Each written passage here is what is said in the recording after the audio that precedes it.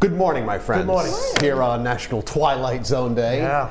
Well, it's no secret that one of the most popular game shows on the planet, as we all know, is a little show within the show that I've created.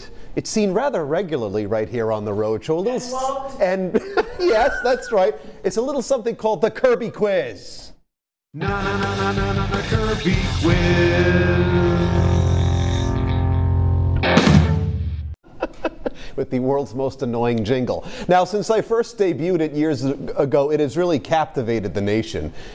But as popular as it is, it's not the only game show on the planet. As we all know, the one and only Jeopardy really is the gold standard when it comes to being informative and entertaining. So why do I invoke these two titans of entertainment, you ask? well, because yesterday there was a summit meeting between game show hosts as I, Brendan Kirby, presider of the Kirby Quiz, met with Jeopardy's own, get ready, Ken Jennings. We'll take a look at this, my friend.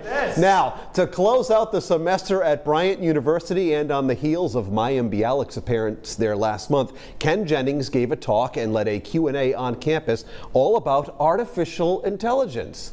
And since I possess limited intelligence, I decided to pop on by. Here now are some photos from his pre-talk Q&A, which I was delighted to be welcomed to. It was a lovely time. And here's Ken on stage giving his talk. Now, he couldn't have been nicer, and it was an absolute pleasure to meet him. So a big thank you to the folks at Bryant University for inviting me to attend, and a huge thank you to Ken for entertaining my curiosity for just a bit. Now, this was doubly exciting for me, for me because number one, I've never been invited to anything before in my life.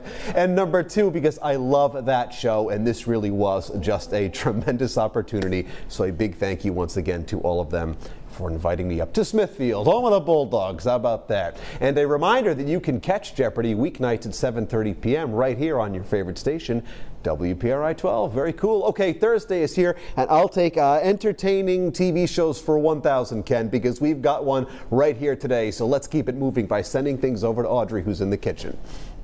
Thanks, Brendan.